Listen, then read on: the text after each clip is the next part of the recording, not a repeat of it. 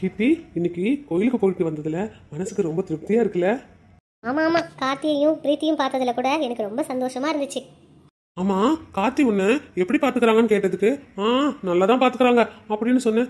ஏன்? உன்னை நாங்க நல்லா பாத்துக்கலையா ஆமாம் ஆமாம் ரொம்ப நல்லா பார்த்துக்கிறீங்க.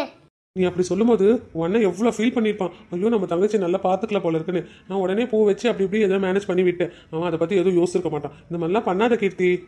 ஓஹோ அப்பனா நீங்களும் சண்டை போட்ட விஷயம்? கார்த்திக்கு தெரியக்கூடாதுன்னு பயப்படுறீங்க. ஆ அந்த பயம் இருக்கட்டும். என்ன? கார்த்திகை பார்த்து நான் பயப்படணும். நான் அவனை பார்த்து பயப்படணும்? அதெல்லாம் எனக்கு ஒரு பயமும் இல்லை அவனை பார்க்குறப்ப. அப்போ எதுக்கு கோயில் அப்படியே பம்புனீங்க? அப்படியே பயப்படுற மாதிரியே பூ வைக்கட்டுமா? இதை பண்ணட்டுமா? உனக்கு தான் பூ வாங்கி வச்சிருக்கேன். அப்படி இப்படின்னு கார்த்திக் முன்னாடி சீன் எல்லாம் போட்டீங்க.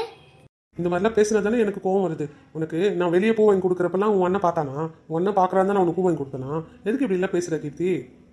நான் பூ வாங்கினதும் உனக்காக தான் நான் உன் தலையில் வச்சு விட்டதும் என் முழு மனசோட தான் உன் அண்ணன் பார்க்குறான்ல உன் அண்ணன் முன்னாடி சீன் எல்லாம் போடணும்லாம் நான் செய்யல சரியா? எனக்கு தெரியும். நீங்கள் எப்படி பார்த்துக்கிட்டீங்கன்னு ஏன் கீர்த்தி என்னை புரிஞ்சிக்கவே மாட்டேங்கிற? என் மனசை ஏன் இப்படி உடைக்கிற? உங்கள் மனசை நான் உடைச்சனா? எதில் போட்டு உடைச்சேன்? கல் எடுத்து உடைச்சனா? இல்லை சுத்தியை போட்டு உடைச்சனா? வார்த்தையாலே என் மனசை உடைக்கிறியே போதாதா? இதில் நீ கல்லெடுத்து அடிச்சு சுத்தியால் அடிச்சு தான் உடைக்கணுமா என்ன? என்ன? என்ன சொன்னீங்க? நான் உங்களை வார்த்தையாலே அடிச்சதே உங்களுக்கு வலிக்குதா? அப்போ நீங்கள் கையெடுத்து அடிக்க வந்தீங்களே அப்போ எனக்கு எவ்வளோ வலிச்சிருக்கும். எங்கள் அப்பா அம்மாவெல்லாம் விட்டுட்டு நீங்கள் தான் முக்கியம். நான் உங்கள் பின்னாடி வந்திருக்கேன். இது வரைக்கும் எங்கள் அப்பா அம்மா கூட என்னை அடிச்சதில்ல. ஆனால் நீங்கள் எனக்கு அடிக்க கை வாங்கிட்டீங்க. அப்புறம் உங்களை நம்பி நான் வந்ததுக்கு என்ன பிரயோஜனம்? என்ன கீர்த்தி இப்படியெல்லாம் பேசுற? ஏதோ கோவத்தில் உன்னை அடிக்க கையை தானே வாங்கினேன் அதுக்கு எதுக்கு இப்படியெல்லாம் பேசிட்டு இருக்க? இன்னைக்கு கையை வாங்குனீங்க? அதே நாளைக்கு அடிப்பீங்க. அப்பயும் நான் அமைதியாகவே நிற்கணுமா ஆ நீங்கள் அடிக்க கை வாங்குனீங்க. அதே நான் ஒரு பெரிய தப்பு பண்ணியிருந்தேன்னா நீங்கள் என்னை அடிச்சிருந்தா கூட நான் அடி வாங்கிட்டு தலை குனிஞ்சு அமைதியாக நின்றுப்பேன் ஒன்றுமே இல்லை. உடம்பு டயர்டாக இருக்குன்னு ஜஸ்ட் நான் தூங்கிட்டேன். அதுக்கு போய் என்னை அடிக்க கை வாங்கிட்டீங்களே?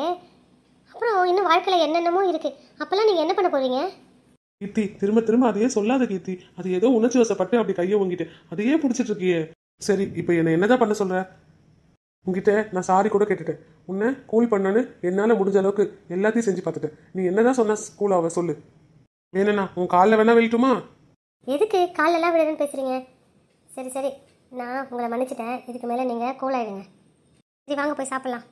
எனக்கு சாப்பாடு வேண்டாம் நீ போய் சாப்பிடு. அப்போ? எனக்கும் வேண்டாம் நான் போய் படுக்கிறேன் விடுங்க. அம்மா தாயே திரும்பவும் ஆரம்பிக்காத. இப்போ என்ன? நான் உனக்கு சாப்பிடணும் அவ்வளோதானே வா போய் நம்ம போய் சாப்பிடலாம்.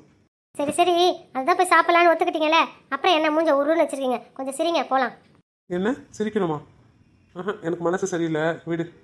எனக்கு தெரியுது உங்களுக்கு மனசு சரியில்லைன்னு. அதுக்கு தான் உங்களை சிரிக்க சொன்னேன். சரிங்க? போதுமா? ஐயோ என்ன அது இப்படி எல்லாம் பயமுத்துறீங்க முதல்ல வாய் மூடுங்க. இப்போ சிரிச்சிட்டேன். போதுமா? போதும் போதும். வாங்க போகலாம் அப்புறம் இன்னொரு விஷயம். என்னது? ஆ நாளையிலேருந்து உங்கள் கூட ஆஃபீஸ்க்கு வரேன். என்ன? ஆஃபீஸ்க்கா? எதுக்கு? எதுக்கா? ஆஃபீஸ்க்கு எதுக்கு வருவாங்க? வேலை செய்ய தான் எதுக்கு கீர்த்தி உனக்கு சிரமம்? வேண்டாம் வேண்டாம் நீ வீட்டில் ரெஸ்ட் எடு. அதான் நானும் அப்பாவும் இருக்கோம்ல நாங்கள் பார்த்துக்குறோம் ஆஃபீஸ் வேலையை. வீட்டில் ரெஸ்ட் எடுக்கோ நான் அத்தனை டிகிரி வாங்கி வச்சிருக்கேன். நான் வாங்குற டிகிரி டிகிரிக்குன்னா நான் ஒர்க் பண்ணணும்ல. அதுக்கு தான் நான் உங்கள் கூட வேலைக்கு வரேன். நான் இதுக்கு முன்னாடி செஞ்ச இந்த வேலையை ரிசைன் பண்ணிவிட்டு நம்ம கம்பெனிலே ஜாயின் பண்ணிக்கிறேன். சரி அப்போ இரு. நான் முதல்ல அம்மா கிட்ட பேசுகிறேன் அதுக்கப்புறமா நீ போறியா இல்லையான்னு சொல்லலாம். என்னங்க? நான் ஒர்க் பண்ண கூட அத்தையை எதுக்கு பர்மிஷன் கேட்கணும்? என்ன அம்மா உன்னை அனுப்புனதானே நீ வேலைக்கு போக முடியும்? அப்போ உங்கள் அம்மா வேண்டாம் சொல்லிட்டா? என்ன வேலைக்கு அனுப்ப மாட்டீங்களா? அம்மா தாயே திரும்பவும் வேதாள முருங்கை மரம் ஏற வேணாம். நான் அம்மா கிட்ட பேசுகிறேன் நீங்கள் பேசுகிறேன் கேட்குறேன் இதெல்லாம் எனக்கு தேவையில்லை. நான் நாளைக்கு ஆஃபீஸ்க்கு வரேன். அவ்வளோதான் சரி சரி. நீ ரெடியாவு அம்மா கிட்ட நான் பேசிக்கிறேன். உங்ககிட்ட கூட நான் பர்மிஷன் கேட்கல ஜஸ்ட் இன்ஃபர்மேஷன் சரிம்மா தாயே. எனக்கு இன்ஃபர்மேஷன் பண்ண மாதிரியே இருக்கட்டும். பசி எடுக்குது. சாப்பிடலாமா? ம் சரி வாங்க சாப்பிட்லாம்.